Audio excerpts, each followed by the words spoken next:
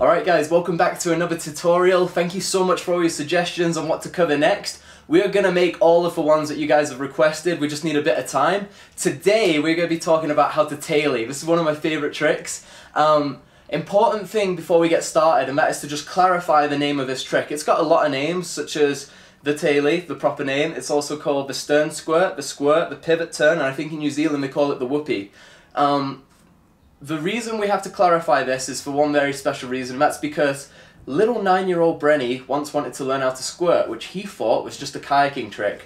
And so he went onto the internet and he googled it and was absolutely horrified at what Google Images turned out for him. So for the sake of the children, we're to call this the tailee from now on, okay? So to do a tailee, basically what you're doing is slicing the stern of your kayak underneath the water on an eddy line, and then you're pivoting around the stern of your kayak. It's really cool, it feels awesome. It takes a little bit of time to learn how to control your edges, but it's not that hard to do, and you can do it pretty much on any piece of moving water as long as it's fairly deep. The technique for it is pretty standard throughout all types of kayaks. One thing to bear in mind though is that the shorter your kayak, the shorter your transition between being on edge and being in vertical is going to be. So if you have a nice long kayak, like one of the new modern, like Pyranha Rippers, um, Exo Rexy, Brap, uh, you know, any of these long boats, you can um, you can take way longer on your edge and it's much easier to figure out. If you're in a shorter boat, then you've got to really like snap your hips underneath you and have a quick edge transition. Alright, so let's get started. We're going to find ourselves a nice, deep, powerful eddy line, preferably with, good, with a good size eddy so that we can try this multiple times. One thing to consider here is the more powerful the eddy line, the easier it's going to be to get your kayak vertical, but it's also going to be harder to hold yourself on edge and initiate the trick. So play around, try it in multiple different spots, and just see which eddy line is going to enable you to learn the trick the easiest. We are going to start at the back of the eddy. We're going to build up some speed towards the eddy line, and right as our nose is about to hit the eddy line, we're going to take a, a little sweep stroke just to begin our momentum and get our kayak to move downstream. Once you've done this, then you have to do one of the scarier parts to this trick, and something that goes completely against the grain of what you will have been taught in your kayaking career, and that is to edge upstream.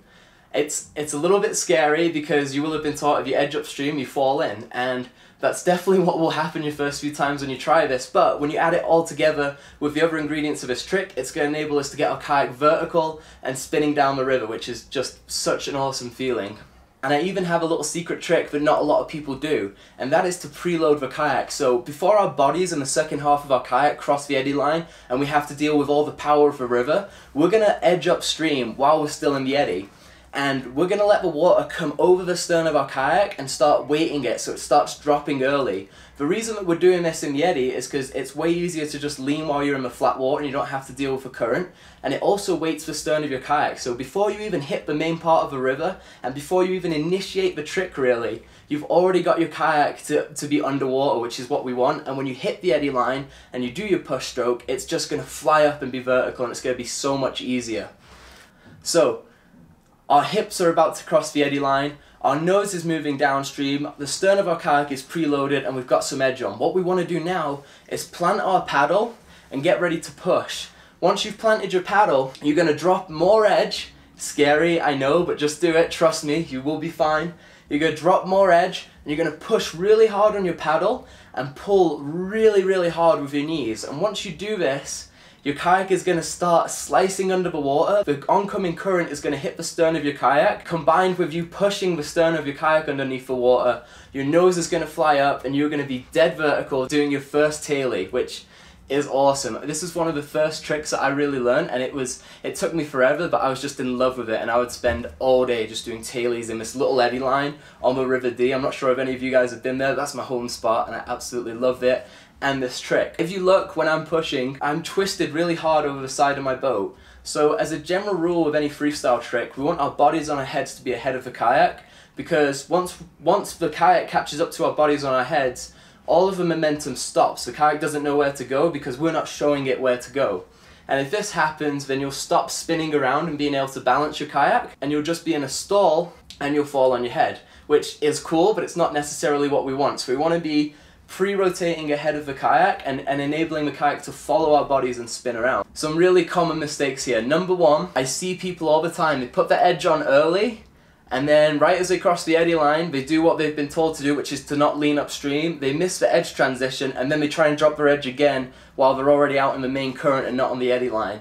And this is not what we want. As soon as we put that edge on, we want to hold on to that edge forever. Don't be like the lady at the end of the Titanic. Never let go, alright? Just keep holding on to that edge, trust it, and you will get vertical. The second mistake that I see a lot, and we've already talked about this a little bit, but it's not, it's when people don't rotate themselves onto the other side of a kayak. So if we don't do this, number one, our kayak doesn't spin nicely. And number two, because we're edging one way in our kayak, we have to compensate that. If we were to lean this way and edge this way, we would fall in. But if we edge this way and we lean this way, then we counterbalance ourselves and we're actually pretty balanced at this point. If you don't do that, then this is what will happen.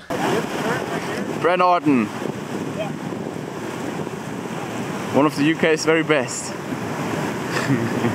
Alright, that is it for this video. Thank you guys so much for watching. Huge shout out to everyone that has subscribed, checked us out, left comments. We love seeing all the suggestions on what videos to make and what you guys like and you don't like.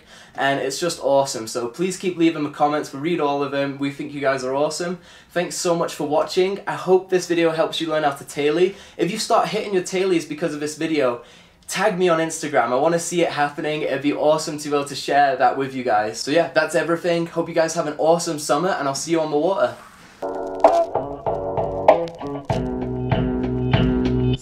I, I, there goes a sight from my soul. I,